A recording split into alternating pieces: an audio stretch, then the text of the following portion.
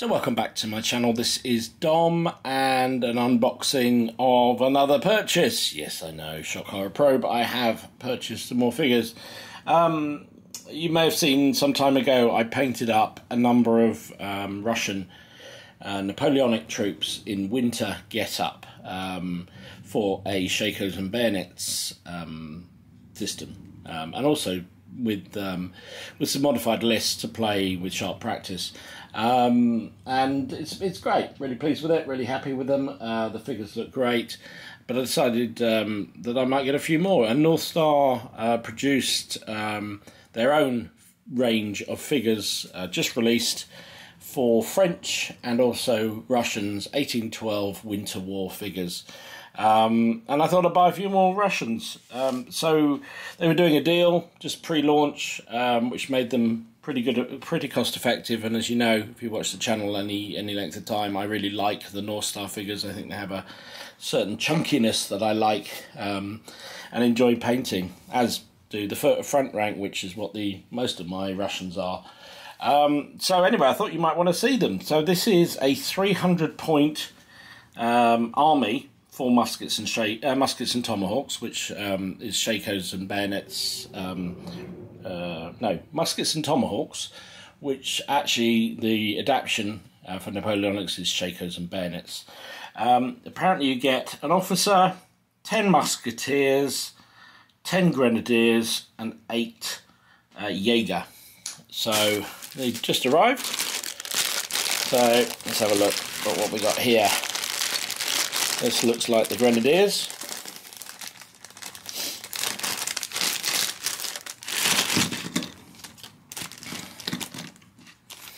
With their big plumes. Very nice. There's one, two, three, four, five, six, seven, eight. Oh, eight, so that must be the Jaegers then. Two, four, six, eight. Yes, eight says Jaegers. Okay. We'll say that. Difficult to tell, really. Um, there isn't an awful lot of difference in the Russian uniforms. Um, so you've got a guy, sort of his musket quite high, high port. This guy's a bit more sort of engaged. This guy appears to be preparing the flint. Lovely big bushy tash on him. Um, that's another one advancing, advancing. Ready to raise his musket to fire, I think. And that one looks a slightly different pose again. Yeah, so there you go, there's eight of those. Oh, sorry, missed one shooting. There's always one, isn't there? We've got the officer, who's actually got a soft cap. Looks almost identical to the um, front rank figure. Very, very similar. I suppose Russians in greatcoats, what do you expect? so this is the next bag, which is two, four, six. Oh, that's only got eight as well. Oh, okay, and then the extra men are there. Right, so I was right, because the, the these should be grenadiers with the big plumes. Um, and there's a bag with two more in them, which makes them up to the ten. Okay, let's let's let's put them properly. One. Yeah, there we go. There were two in that bag, so that made up to the ten grenadiers. Ten grenadiers should have the big pom poms. I didn't think anything else had those big pom poms. Um, and then you've got two bags. Uh, these ones are wearing um, so the caps, and these ones are wearing shakos. So, Russian uh, uniforms, there wasn't an awful lot of difference between um, Jaegers and Musketeers. So you could pretty much interchange these. Um, some nice, yeah. I mean, all of them have got their collars up.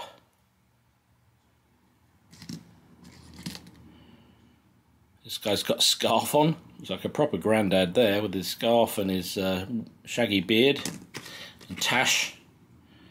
Guy's shooting. Another one with the uh, scarf.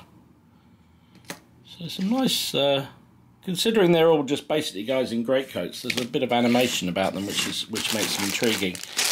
Now, what I probably will do is mix these so that you have some with caps, some with um, um, yeah, some with caps and some with uh, Shakos.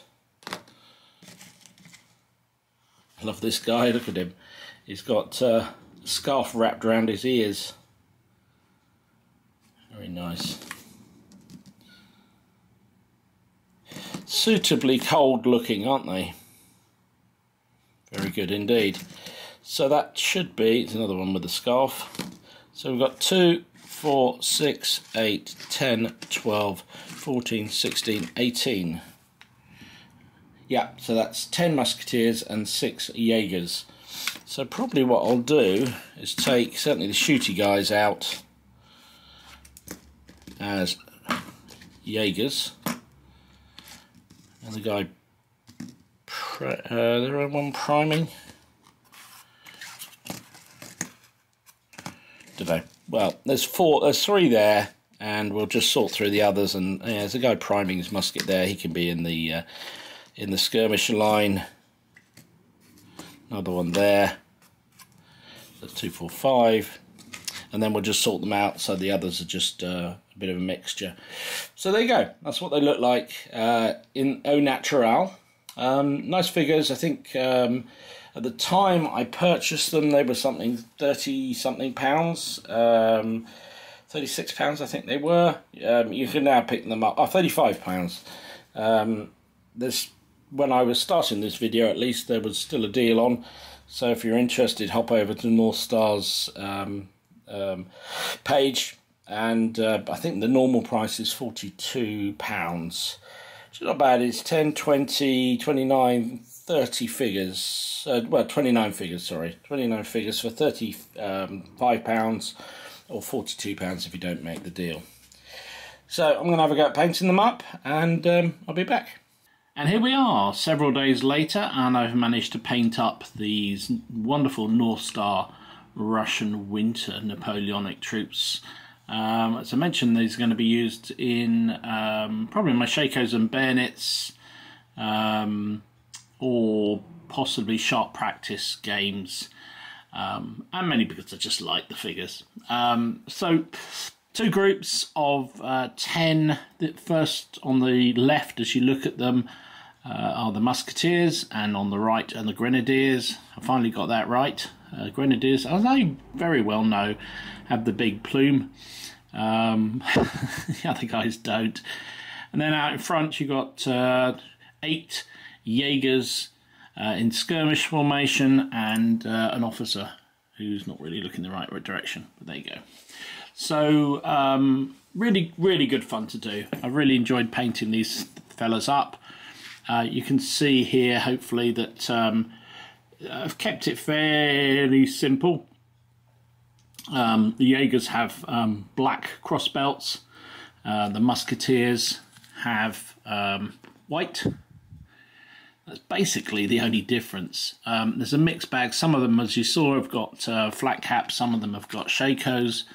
Um, and I've basically just taken an, a range of different contrasts. So let's start with the beginning. I undercoated everything in light grey, as is my want, um, with Halfords uh, light grey primer. Um, for those of you not in the UK, uh, Halfords is a car uh, car care company, shall we say. Um, and um, so I use their spray paint um, as, as my undercoat. And I know a lot of people do this because it just really gives a very consistent, very good coverage. So anyway, what I was saying, I took uh, on the top of the figures, whoops, let him focus in, there you go. Too close, there you go. Um, basically with these figures, I undercoated them with the light grey and then took a number of different uh, contrast paints, primarily browns. Um, I have used greens as well, um, and just used them liberally over for the overcoats because they wouldn't have had a standard um, style of overcoat. So I've put uh, variety in here. Not so much that they all stand out, but you could, when you look carefully, you can see different sort of slightly different colours involved, which is what I wanted out of them. Um, also, I think I used a couple were using Basilicanum Grey. Um, the Shakos, whether we're in Shakos, some of them I've done just with straight black, some of them I've done with a sort of off-white, uh, just to show the difference. You can see the musketeers. A lot of these guys have all got. Uh, uh, a lot of these guys have got. Move these, move these Jaegers out of the way. A lot of these guys have got um, scarves and things wrapped around them, which I really likes the style of. I think it makes them look really shivery and cold. Um, this guy here's even got the, uh, uh, the the the rifle sling wrapped around his hand. Some of them even got mittens on. Um, I decided not to do them with white gloves or anything like that, gloves on, because um, to fire a musket you need to have your fingers out, which isn't great. But um, I suppose I could have had mus- could have had mittens, but um, apart from the odd one or two that are modelled like that, um, it, the rest aren't. So it would look very odd. Here's the officer. He is wearing gloves because he's an officer. Um, done with a red sash. He's got a big scarf around his neck. There we go. And let's move those out of the way. Let's bring the grenadiers in. These were the, the last to get done. Again, a bit of variety in the in the uh, coats. Great coats. You can see one, couple of green ones here. I think I used Militarum green on a couple um, basilicanum grey, and then about two or three different types of brown. Um, picked out the uh, little gold bits on the on the Shakos, um, and then basically on all of these figures, they've been liberally uh, dry brushed. Uh, well, not liberally, a fairly light dry brush with um, a white. I usually use uh, deck tan, but in this case, because they're supposed to be cold and snowy, I used um, a white um, dry brush all over the top of all these figures just to give them that really sort of coldy looking feel which is uh, what I was aiming for. And then what I've done with the basing is I've used uh, 20 mil squared MDF bases.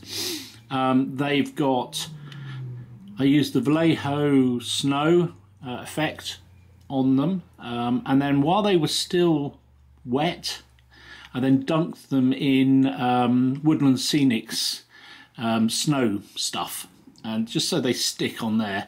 Uh, I'd also put in a couple of tufts and I did that before I put the woodland scenics in so that some of them stuck and then when I uh, then when I varnished them all I varnished so that without shaking the bases so they have that sort of loose effect of um, uh, of sort of bits of woodland scenic snow effect on the tufts and I quite like the way that's come out. So there you go. That's my uh, little winter German. Oh, I keep saying winter German.